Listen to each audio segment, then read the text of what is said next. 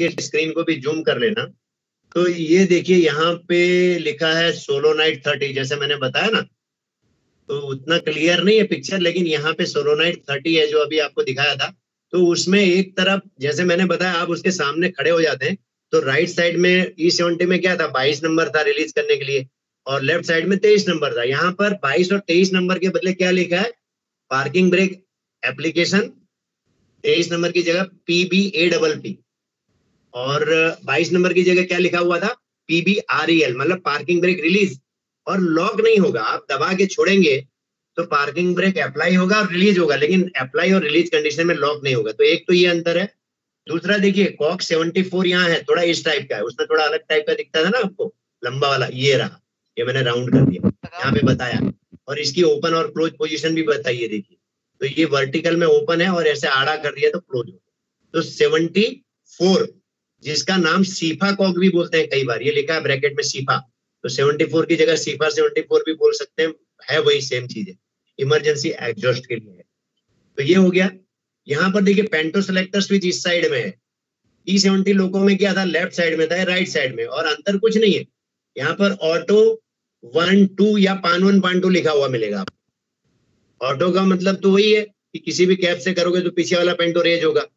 अब वन और टू की जगह पान वन पान टू लिख दिया है पेंटो वन पेंटो टू तो वो भी कोई दिक्कत नहीं है। उसके बाद 136 यहाँ पर है। उसमें नीचे की तरफ़ था थोड़ा, और लंबा कॉक था, देखिए, इस टाइप का। ये मैं राउंड कर रहा हूँ। ये, यहाँ पे बनाया हुआ है, देखिए। 136 ये फ़ीड पाइप के लिए है, और आड़े में ओपन है, खड़े में क्लोज है। वो भी दिखाया हुआ है इधर। ठीक है? उसके बाद 47 यहाँ पर है, नीचे की तरफ़ 47 और इस तरह का दिखता है आपको 47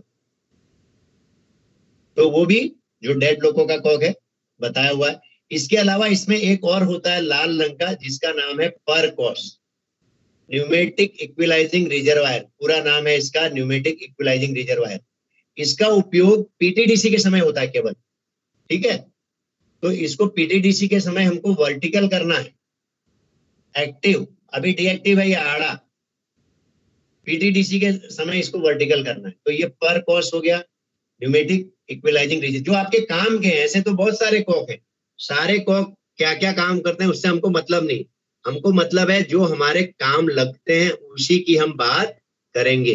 तो जैसे मैंने अभी आपको बताया था ना 16 और 20 टीपी तो ये जो सीपी लिखा है, इसके नीचे ही जो ये काले रंग का आपको दिख रहा है, ये ये रबर का कवर होता है।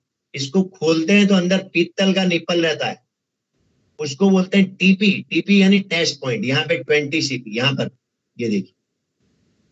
तो ये लोगो, इसको जब आप दबाते हैं ना पीतल के निपल को ये कवर निकाल के, ऐसे ही निकल जाता है तो आपका लोको ब्रेक रिलीज़ होता है। तो अगर डिस्ट्रीब्यूटर वाल से नहीं हो रहा है तो इसके द्वारा हम लोको ब्रेक को रिलीज़ करते हैं। तो एक तो ये हो गया इसको थोड़ा ऊपर करता हूँ, ज़्यादा ऊपर चला गया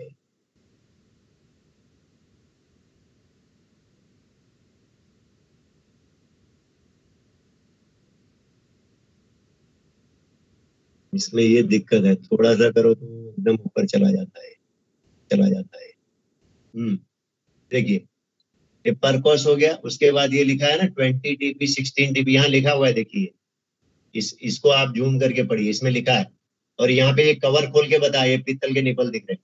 तो इसको दबाने से लोको ब्रेक रिलीज़ होता है। ये आपका गुड्स पैसेंजर कॉक है, डिस्ट्रीब्यूटर वाल का।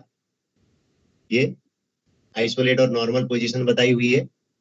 तो सेवेंटी नंबर का नहीं है, इसमें एक ये अंतर है।